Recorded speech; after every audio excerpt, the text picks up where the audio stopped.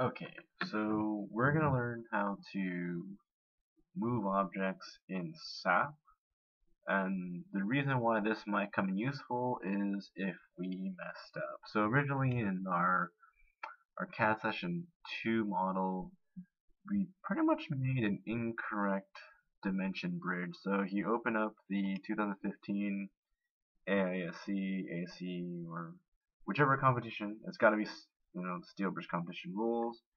Scroll all the way down, you know, and you'll notice that you know our bridge is actually a little too short. So I went ahead and already set it so that as you turn on the staging yard, you'll notice that yeah, our bridge is a little too short. So I mean, it lands like dead in the river and we need it to go from one footing to the other footing and it's all based on the dimensions that they give you. So we could have done this preemptively so hopefully in the future you know you guys will just make this first and then design your bridge accordingly to whatever those dimensions will be. Um, but yeah, we were pretty off. So let's say we want to figure out, you know, how far we need to move this so that basically when we go back to uh, SAP, we know how to move it um, in SAP as well. So let's go back to CAD. Moving things is a little difficult because we don't have this drawn in SAP. We do have an AutoCAD, so we can use AutoCAD um, to move it. So let's go to our layers. Uh, let's draw some def points. So I'm going to try to make it dead center of the foot. I'm going to draw a line from there to there.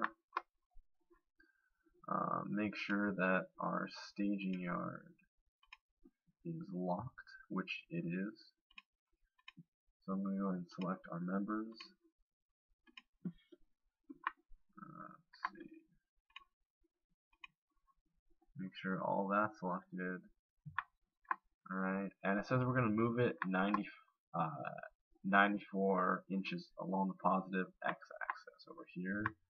But how would I know that? Because if I move it, go here, make sure ortho's on, type in 94, and bam, that looks, you know, that looks about right. But how would I know that? Well, that's what the line is for. We're going to go ahead and use our distance tool by typing DIST, and we're going to go from the center to that, or the midpoint from midpoint. And it tells us delta x is 94, so that sort of verifies that this is indeed correct. We're going to go ahead and select all of that. Um, press M, press enter, move along the positive x in ortho mode, type 94. And we don't need this line anymore. So now we got a well, we have a gap to fill basically because we messed up that bad. So we're gonna have to pretty much um, fill that gap in later on. But now we know how far we need to move it in SAP. So we're gonna go back to SAP and we're gonna select um, that half of the bridge. So let's see, that's our Y. Oh, just make sure this is right. Set 3D view. We're going to grab this half. And um, you can hit Control M and top, it uh, brings up this little move thing and you type in 94 and it should move it positive 94 away from where it originally was. So if we go to see, it's selected again. We should be able to go to um, edit and go to move and that'll give you the same menu. So if you forget if you forget control M you can also just you know go to the edit go to move. Click OK and now we've successfully moved it. What you'll really appreciate I think um, is the fact that you hit Control G um, to select your webbing group, your webbing is still there. So that's the handy part about this. It'll still keep your groupings or whatever material properties you set. Um, just a reminder, you know, material properties are going to be here for like frame sections, and you're going to add new property, and then, um, well, you're going to go ahead and assign frame sections afterwards,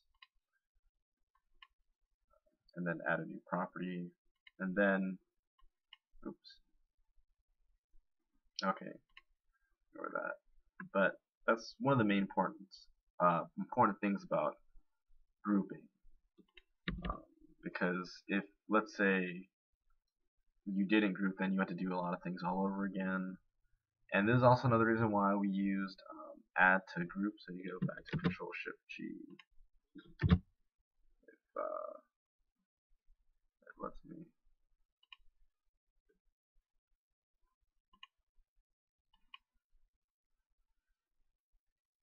Or oops.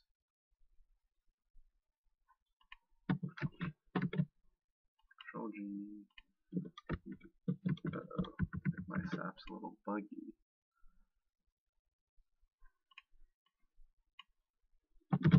Oh, yeah, there we go. Yes, assign. So there's always an add to group thing.